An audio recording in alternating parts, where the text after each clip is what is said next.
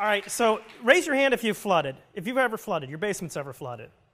All right. All right, put your hands down. If you haven't flooded, have you at least seen Beslow's Is There Sewage in the Chicago River.com?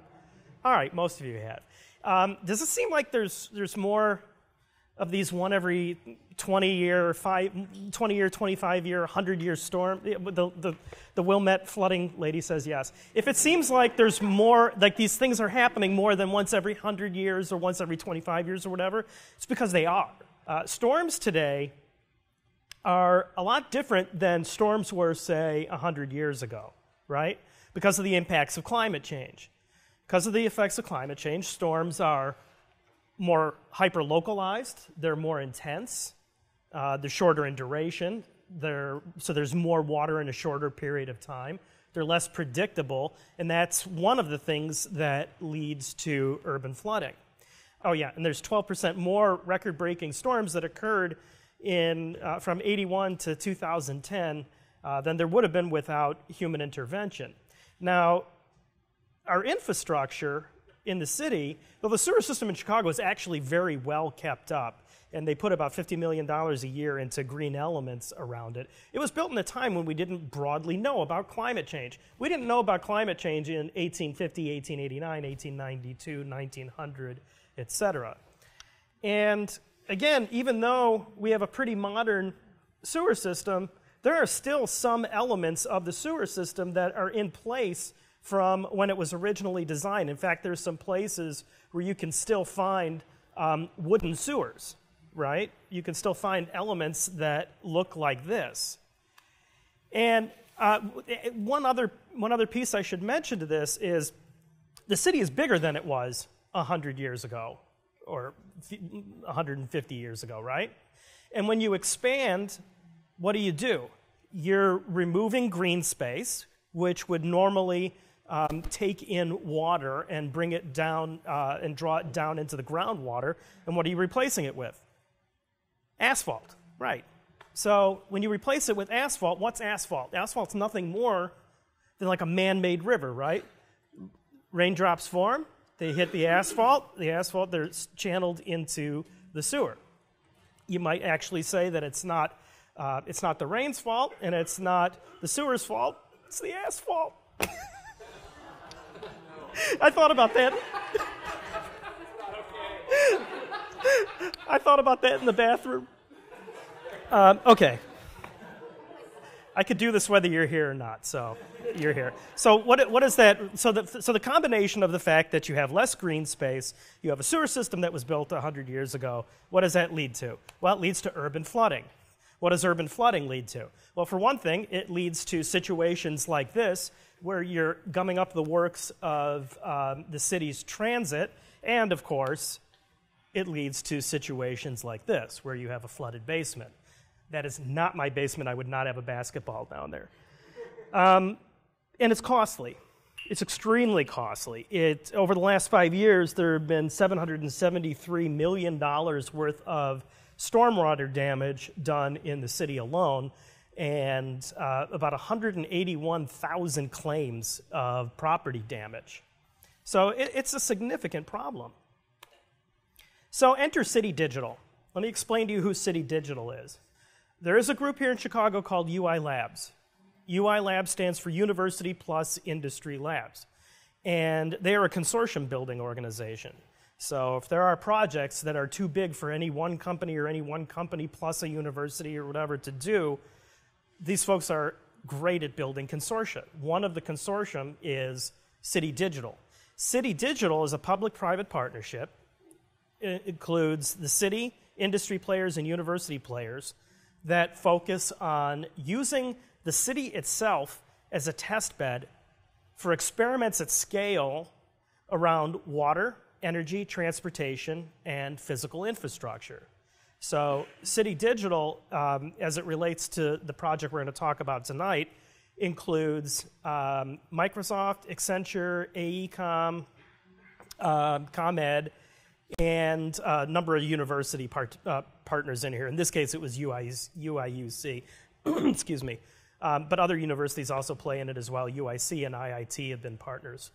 And what we're doing here, and what Dana's going to explain to you, is we are going to use, we have been using the city itself to test out an experiment with a variety of green solutions to flooding that we're going to use to augment the built infrastructure. So basically, what we're kind of thinking of doing is how do you put back some of that green space? How do you put back some of those natural processes to divert water from the sewers and to put it back into the natural system? So we have a variety of green solutions um, and advanced analytics applied to data which are collected from sensors in these uh, green infrastructure sites. So we have things like replacing asphalt with something that's permeable and then putting a package of sensors down there that will understand how much water you're being, that is being diverted. You have things like infiltration planters and infiltration bump outs and bioswales, where a bioswale is where you have a sloped, um, uh, a sloped landscape, and at the bottom you have native plants that, again, draw the water back in. So you have all these green elements, but what we don't have is good data that talks about the performance and talks about what's good and where, et cetera. Oh, and City of Digital, I should also mention, um, we were also helped on this project by uh, our good friends at Glasswater who are uh, scattered around the room. So to talk about the actual experiment and what we found from it, I'm going to bring up my colleague, Dana Al-Qadi.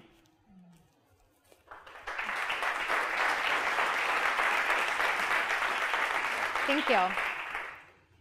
So as Adam mentioned, the, we're going to be talking about some green infrastructure today. So the objective of this project was really to look at green infrastructure and, and kind of be able to tell, is it doing what we expect it to do? Is it doing what we want it to do? And can we be able to tell how this green infrastructure is functioning in a real time and then be able to modify and, and correct and adjust um, the green infrastructure as needed based on that information that we're receiving?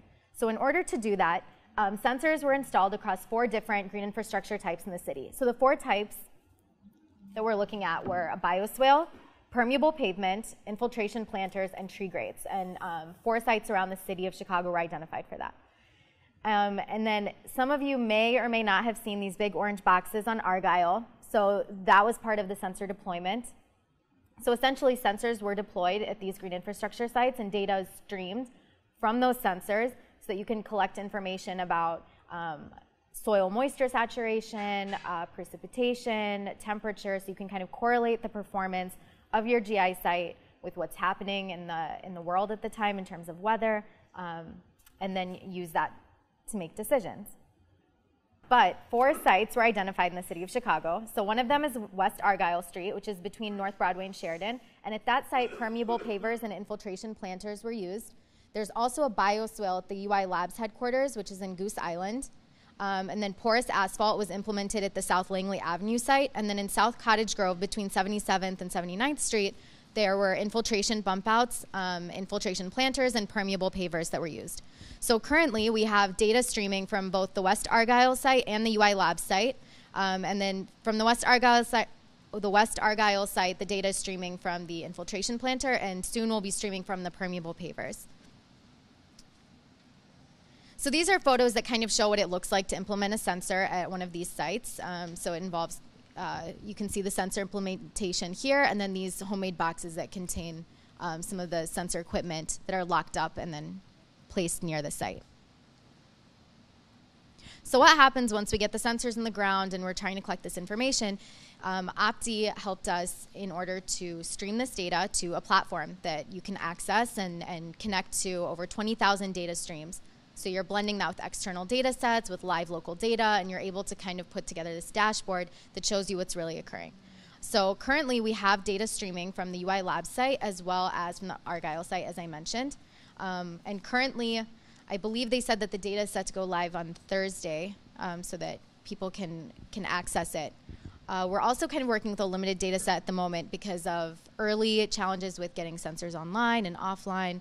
Um, so we're going to continue to monitor data over an extended period of time throughout the coming year in order to have a more comprehensive data set that covers um, a wide variety of weather events, including significant rainfall. So what are the implications of working with data like this? So the goal of, uh, of UI Labs ultimately is beyond this pilot project, and it's kind of why everyone is here today, which is to look at how we can integrate um, solutions to solve real world problems. So what we're noticing or what we're trying to advocate here is that you know you can integrate physical hardware and digital platforms in order to provide the ability to deploy and test smart solutions to improve water planning, decision making, and ultimately better respond to these emerging water challenges that Adam touched on earlier. So some of the things that we're noticing are that cities, utilities, and many other organizations are looking at smart technology and practices to solve their water solutions. So when you have a pilot project like this, you have live data that's streaming. You can get um, hyper local information in order to um, improve decision making. You can look at things like connecting flood sensors to enhance disaster management response and improve it. You can look at integrating data into urban resilience data sets so that it's accessible and used to enhance decision making. Um, you can develop smart utility strategies that develop specific goals based on data that you've seen. Um, you can even develop apps and software systems that connect people like us to uh, community data and water infrastructure opportunities on a consistent basis. And New York's a city that's kind of begun to do that in terms of connecting data with people and then um, opportunities for project work. So to talk more about our information and data, I will pass it off to Tom Schenk. Very well, thank you.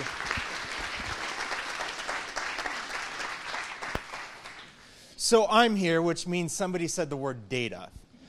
Uh, I'm the chief data officer for the city of Chicago, and I'm going to want to walk through a little bit about how we're trying to take this project and turn it into an open data project. You heard about the context of this, about uh, sustainability, about green infrastructure, about returning our 5,000 miles of streets back from being a man-made river back to, back to nature.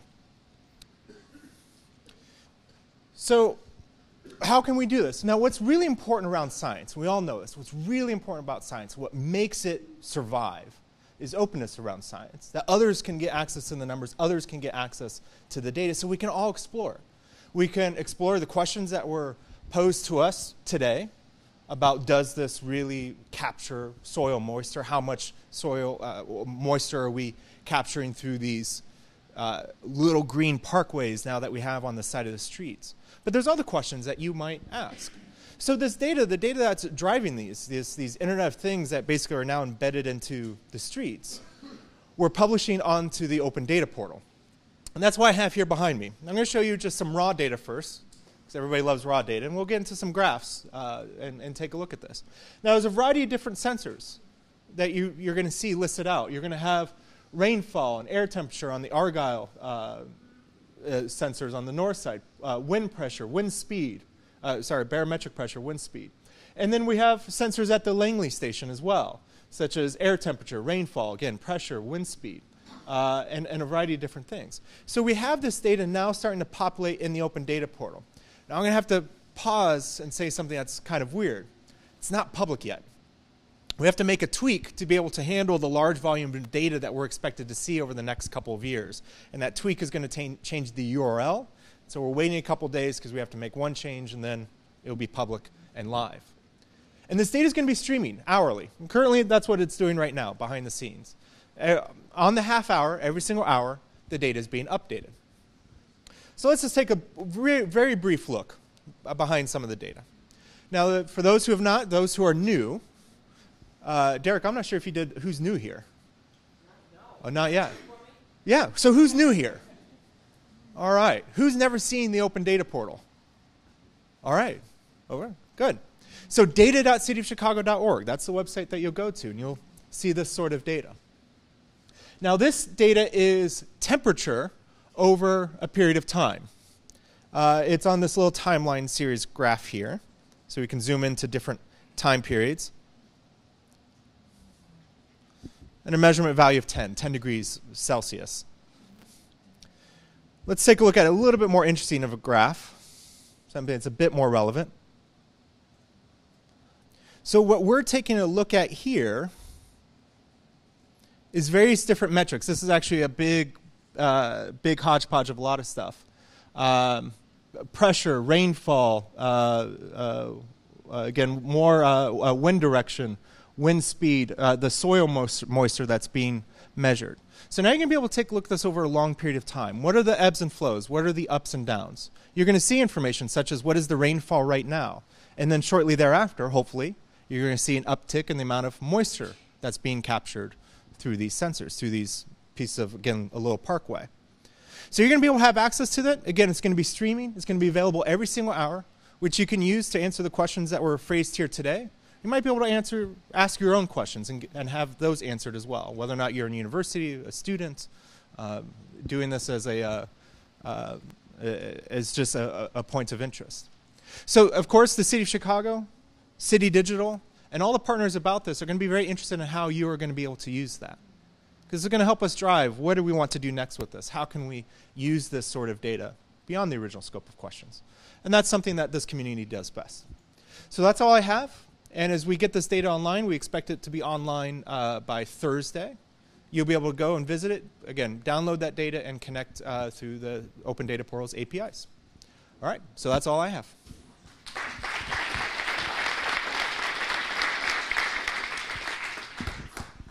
So once you guys have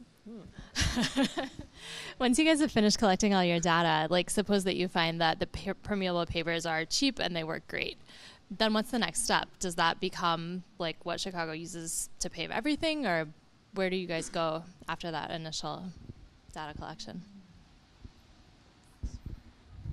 So one of the one of the goals behind this pilot is to uh, so you're getting this data from these sites and and you're one of the things that you're going to be able to tell is which GI which GI types function in different types of rain events better, right? So you might have you might find from your data that one type of GI functions better in a, in strong rain event that's very intense and short, whereas one functions better for a smaller amount of rain over a consistent period of time. So what we're doing with this data is a kind of an engineering analysis feedback loop in order to analyze it from that perspective and see what kind of trends we find so we can provide some design recommendations for future GI. Hi, there's a new uh, project that everybody's been reading about, about the new city streetlight project, where they're replacing um, LED street, uh, street lamps and installing them. And part of that infrastructure that they're laying in is a new remote management system where they'll be able to monitor the streetlights. Has there been any discussion about expanding the sensor technology so that you could actually leverage the network they're building to manage the streetlights to get more sensor data and data points? Uh, so each one of those technolo- each one of those projects are a little bit different in scope. Uh, with the, with the city streetlights, so the city of Chicago, which has an extraordinary number of streetlights, you can always tell the outline of the city quite perfectly when you fly over it because of the streetlights. Uh, they're being replaced, and we're going to move to a more uh, affordable form of technology that powers those. But really, one of the big focuses on those smart streetlights from the get-go is being able to lower their costs and be able to better easy manage those. So, for instance, now when a streetlight goes out, this is not kidding, but this is very pragmatic. When a street light goes out, our crews go out, but our crews work during the day. So they take off their yellow vests, they put it over a sensor, and if the street light goes on, eh, but one of them does not, great, street lights are out. This is a pragmatic. Otherwise, you have your street repairman working all night, and it's even, eh, adds to the expense. Uh, there's some other sensors that might go into the smart street lights, uh, but of course, we're going to be very careful about you know, not impinging on anybody's property or anybody's privacy because they're going to be everywhere. As opposed to these, which are very, very focused about points of collection that you see of going into the ground, which the smart streetlights are not going to be great about because they're going to be on pavement themselves and not on the smart infrastructure. But in general, taking a step back, uh, uh, over the next few years, you're going to see a lot of sensor projects. This project is one of three main sensors projects that the city of Chicago is working on. Sustainable uh, green infrastructure monitoring, the array of things, which has been talked about quite a bit of measuring, uh, measuring your communities, and then also the Smart Streetlights project, which is going to uh, take in some more information about electricity use and other things that might be happening. And we are keeping in mind about all the data that's being collected and how we can leverage that to optimize our city operations. Uh, so prior to the installation of these uh, sensors, what have been some of the ways that the city has decided how, how and which uh, green infrastructure elements to include in a given project? So this, the city would oftentimes make green infrastructure decisions. Um, it's blue. Um, the uh, I'm certainly not speaking on behalf of the city, but oftentimes I know a lot of the decisions that were being made around green infrastructure were oftentimes done through modeling. Uh, so there's a model of the city sewer itself that can look at overall performance and then you know sort of how to place these things as it comes in, uh, and then you look at sort of location, capital need, and other things to sort of triangulate what makes sense. Uh, I think what's very interesting about the potential of this technology is to have a feedback loop to that, so that if you have some design or engineering assumptions, you can actually test it over a longer period of time and with multiple locations at scale. What's the relation between the overall size of the problem and what each individual green infrastructure unit brings, and, and how much would need to be built out in order to, like, I don't know, noticeably reduce the amount of flooding or something along those lines?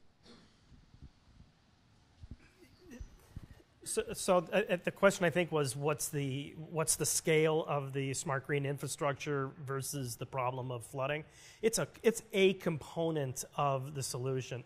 Uh, one of the companies that we worked with, in fact, uh, Pavel is here today, is Opti, who looks at not just the green infrastructure elements, but a number of other ways of handling flooding. Like um, underneath the large buildings in the city, there are holding tank cisterns, and there's about a, a what is it, about a four inch uh, diameter hole down there that drains it. Well, what if you got smart about um, using data to model out when that hole should expand and when it should contract and when you should release the, the water out and when you shouldn't? So my point here is that it is just one element of, of, of a, uh, of a broader study. I would also just add to that that um, you know one of the goals is to kind of identify which types of green infrastructure can have a maximum impact on a certain type of area. So when you look at some of our most flood-prone communities uh, or areas in the city, you know, like our west side or our south side, then you can kind of start to look at it from that sense. So it might not be an explicit number, but that will help make decision making so you can have a maximal impact.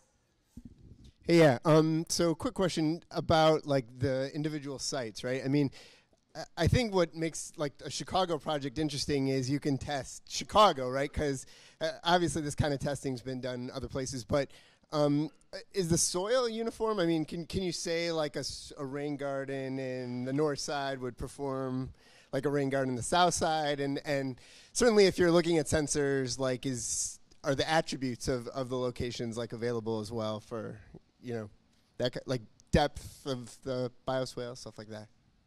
Yeah so that's a great point. Um, so in terms of when you're doing like an engineering calculation for example to see how your gi is performing a lot of things come into play there like the porosity of your soil and you know is it is it functioning well because your soil just has a high porosity level or is it because of your GI? So all of that comes into play. I'm not sure if we have that information available that will be like rolled out with that with the data, but um, that information goes into calculations when you're looking at engineering analysis for sure.